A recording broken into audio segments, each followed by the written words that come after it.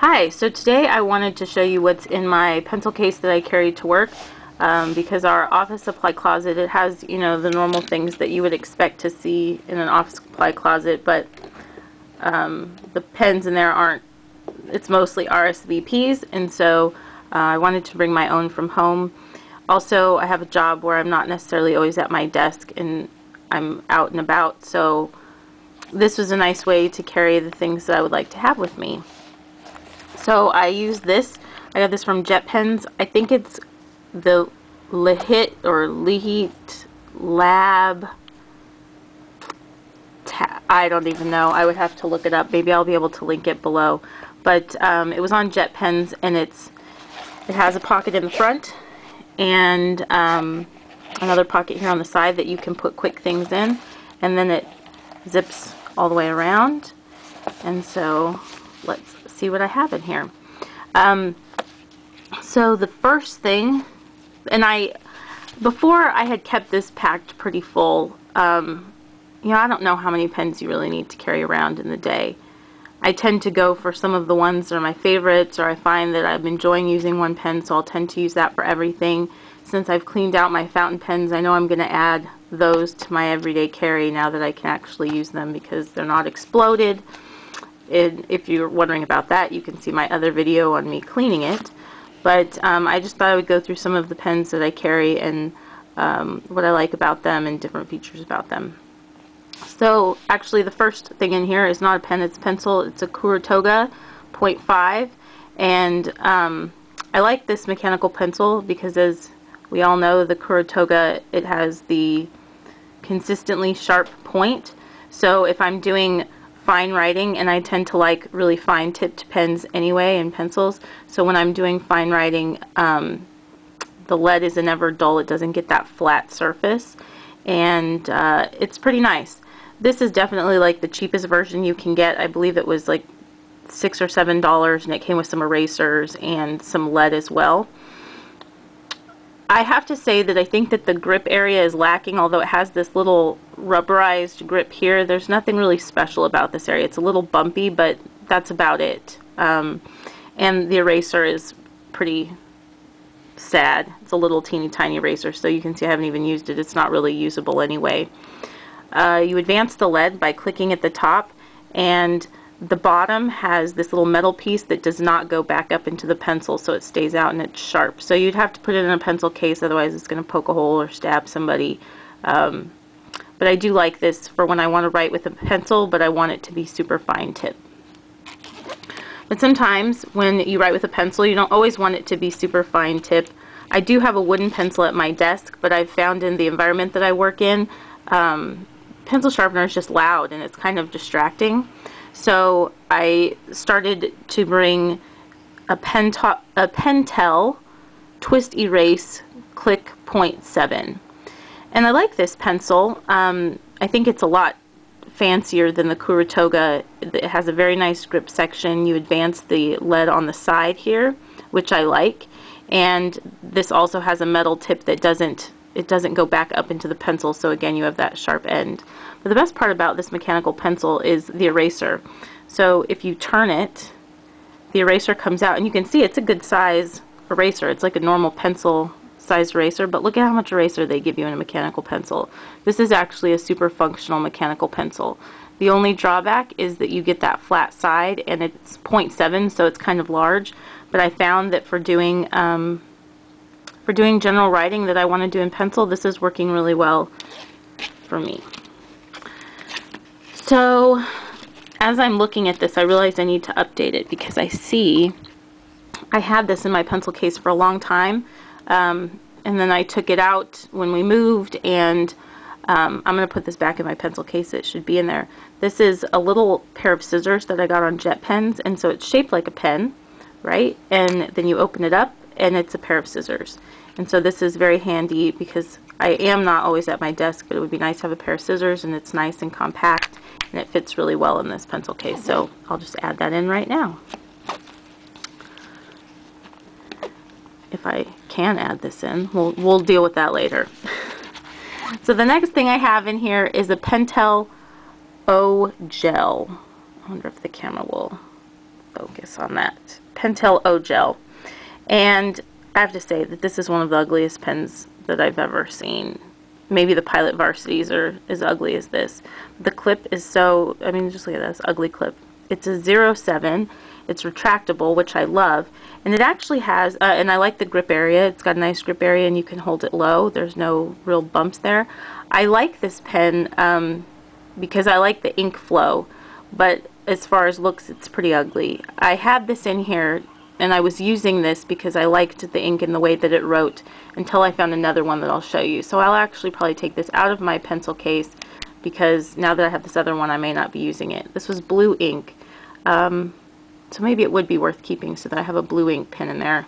I'll rethink that. Um, the next thing that I have is a Uni Jetstream. I just got this at the drugstore and I have to say I really don't like this pen that much. It's a 1 1.0 tip. It's just um, the, the hybrid ink or ballpoint ink. I don't know if that's what they're calling it. I like the design of the pen. I think the pen looks good. I like the grip area. It's just a very large tip for a pen. But I've found that sometimes I just need a ballpoint pen and so I'm going to use this. I did have um, in another video where I showed the presents that I bought for my sister-in-law and my brother um, I bought my brother some Jetstreams that were like 0.28 and 0.38. I loved them. He ended up getting all of them, um, except I kept the the Hi-Tec-C Maica because I knew it was after seeing it he just wouldn't really like it. The jewel in the top and the the actual tip of the pen I knew he wouldn't like. So I've been keeping this and I love this pen um, for doing my my checkbook balancing. And then the other pen I kept is right here. But after these are done, and I will use these up, um, then I will definitely purchase the Jetstream in the finer tip. Those were excellent. They were such smooth writers and I really liked them. But this is also good to have in case somebody needs to borrow a pen.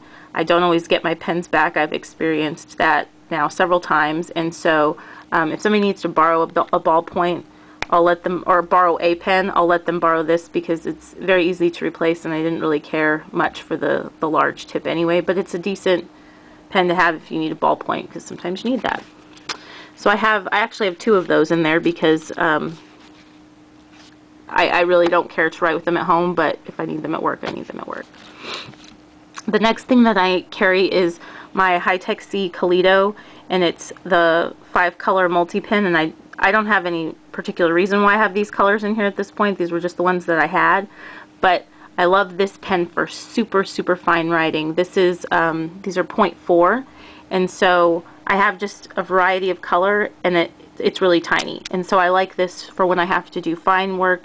Like I said, I prefer fine tip pens and so I tend to go for those kind anyway. So this gives me some variety in color. And I have some refills if I needed to fill that up again, I can. So there's the scissors I showed you earlier. So then at my, um, when I was out and about, I found this pen and I thought I'd give it a try. Um, the Uniball Signo, or Signo. I bought some of these for my brother as well and they were fantastic. They were super fine tipped and I really enjoyed them. I will definitely be purchasing some for myself when this one is out, but this one was right there in front of me and it was on clearance and I thought I'd give it a try and it was in purple, so my favorite color. And it was retractable. So the clip is kind of interesting looking. You can see that it's a little designer there. Uh, I like the grip area. It's got, it's, it's okay. I don't like this this groove right here that they have going on, but there's some attempt at it being a, a little bit grippy and it's in a 207 as I guess the official size. Um, it's fairly fine tipped. Let me see. I've got some paper. So just to scratch something off. It's fairly fine tipped. It's dark purple. It's a good gel pen. If I lost it, I wouldn't be upset. I don't think I paid more than a dollar for it. Like I said, it was on clearance, but um, just something nice to have. People ask me to borrow pens. I think it's because they see that I'm carrying interesting ones, and I just don't want to lose the good ones. This is... No, you know what? This wasn't one that I ordered for my brother. I, I got, I received this pen, and um, or did I order it? No, I received it. And I just really love this pen. It's a Zebra NR505 needle tip. Sorry about that. And um, it's fantastic. It The grip area is lacking. It's just hard plastic. But I love how it writes. And I love that it's, you know, fine tipped. You can see it's a lot finer than the other one. And um, so I like this one. So when I need a blue pen, and I want it to be fine, I'll use that. Actually, I'll show you the O-Gel because now that I have it out, this one is a, a, a monster tip. You can see that it's much larger, but the ink flows pretty well. And um, I'll show you the Uni Jetstream while I'm doing this, and you can see how large this is as well. Well I don't even know if I really wrote a word there. Look at that. But you can see it's large and it, this is like a standard ballpoint pen except you know a little bit nicer with the ink flow. It's okay. I wouldn't repurchase this pen. I would though in the smaller size. So there's my other uni Jetstream then I have um, just a highlighter in case I need to have a highlighter with me. And this one is the Staedtler Text Surfer Classic. I got this in a pack of a bunch of different colors and I really like these. They don't smear, they're inkjet safe so the ink won't smear and it's flat so that it's, and it's got a clip so it can sit nicely in this pocket. So I do love Energels, Pentel Energels. I have two of them. Um, one of them, this one I received from somebody. These are both the same size, they're retractable, which I like. They're 07. So this I received from somebody in the bright pink and I really loved it. The ink is super smooth. It's just a huge master, uh, huge, big, huge line that it, or a big tip. Sorry, that doesn't even look like a word. I found this on clearance in purple, so I bought it because I really liked the ink. I knew I liked the Energel ink. So then in the clearance section I saw this, and it's an Energel, and it's a 07 but then I looked on the side and it says needle tip.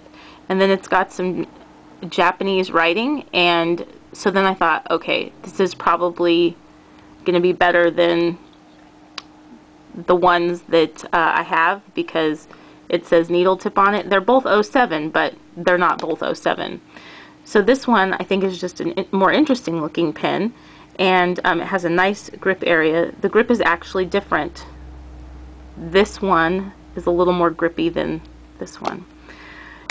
And um, the tip looks different. You can see it's the needle tip versus the Energel that I had. And you know, now that I'm looking at them side by side, it, it's, it's a little bit smaller, but it's that, um, that really excellent Energel ink. So this one is the one I've been using a lot at work and I'm really enjoying using that one. And this was also, I think it was like a dollar twenty or something like that. So if I lost it, I wouldn't be heartbroken. Um, and now that I've cleaned these fountain pens, I believe I'm going to add my Lamy Safari and maybe my Metropolitan to the mix because now they're clean. So this is a really great pencil case because now you can see that you can fit a lot in here. I've had way more than this in here. Then you flip it so it's got the band across the top and the bottom so that if it leaks it's not going to get everywhere.